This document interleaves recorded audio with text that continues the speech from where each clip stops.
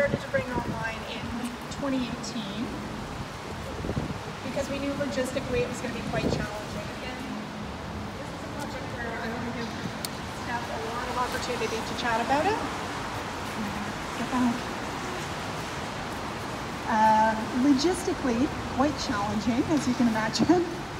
One of the, um, shall we say, eccentricities of the Bentway site is that we have this fantastic architecture, all of the bents, as we call them, that hold up the Gardiner Expressway, hence our name. Um, the challenging thing about the bents is we cannot drill into them. we cannot alter them in any way. They're a piece of city infrastructure, they're active infrastructure, uh, and we need to be super respectful of that. And so, regardless of an artist's vision, and obviously it was Esmaa's vision to utilize these as sort of like um, we need to think, think about the logistics of how that work goes up.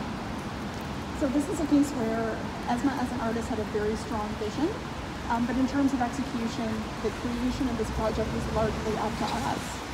How would the hoops be attached to the columns? How would the vinyl operate on site? mm. How would we install all of this? What amount of time would it take?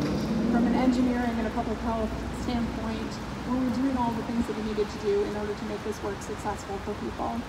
Um, the premise of the work really is about accessibility, the accessibility of sport, um, and how we create this sort of impossible port, this impossible environment on the Bentway site that encourages people to think about um, applying new rules or a different framework to a familiar kind of game.